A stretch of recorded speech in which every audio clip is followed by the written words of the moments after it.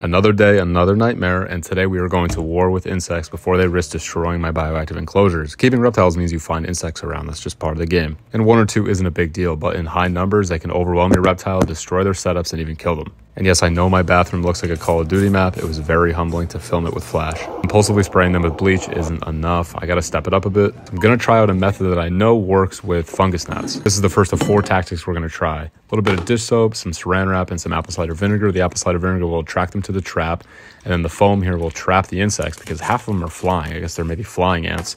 Poke little holes in the saran wrap, they crawl through, they can't find their way out. And even in that time I was setting it up, they seem to be multiplying. So I will want to include some poison as well. And look at these two kissing by the Puebes, taunting me. Terro traps are great, they work really well, but I also want to seal off the perimeter using Mama's favorite respiratory carcinogen, diatomaceous earth. And then for good luck, I did buy a carnivorous plant, which I had to save in a separate video, but that's a different story. For now, stay tuned.